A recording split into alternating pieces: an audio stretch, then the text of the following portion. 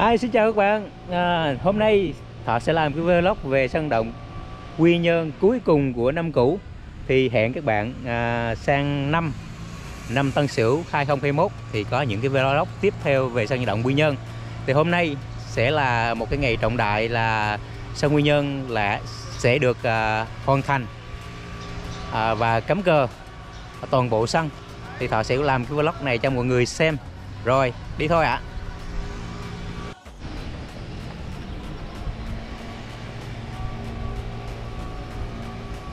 Sân vận động Quy Nhơn ngày 27 Tết nha các bạn. Cái vlog này vlog uh, cuối cùng của uh, năm 2020 Năm Tý đó các bạn. Thì hôm nay thì ờ, uh, sân sẽ hoàn thành và được uh, treo cờ. Và bên cạnh đó thì đài truyền hình sẽ Đài truyền hình sẽ đến và quay phim đưa tin chính thức uh, trên uh, truyền hình Trên các trang báo chính thống.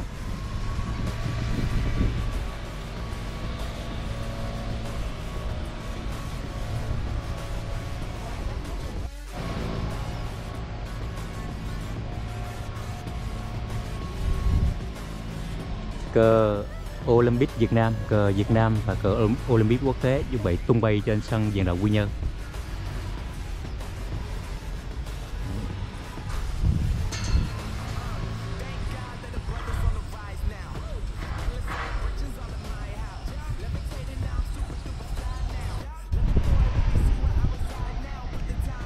Thọ đang đứng ờ, ở giữa mặt cỏ của sân vận động Quy Nhơn, Thọ quay toàn cảnh ờ, sân vận động Quy Nhơn nha chỗ này thì mấy anh đang à, uh, thượng cơ.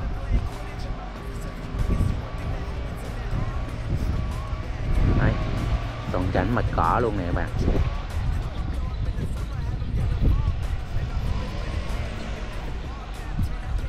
Đánh giá mạch cỏ thì à, cỏ phát triển cực kỳ tốt nha các bạn.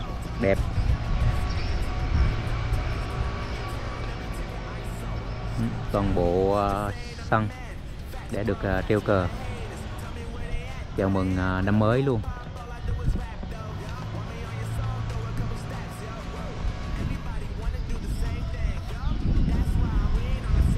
Cờ quốc kỳ à, ở à, chính giữa sân luôn các bạn.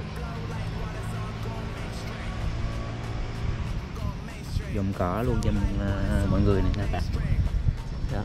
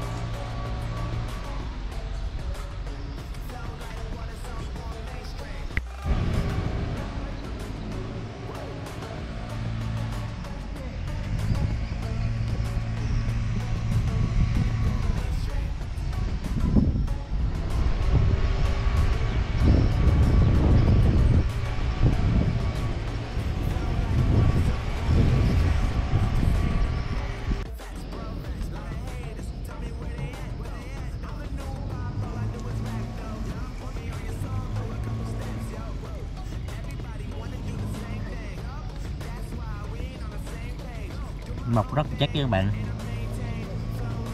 Có mọc rất là chắc. Dày rồi.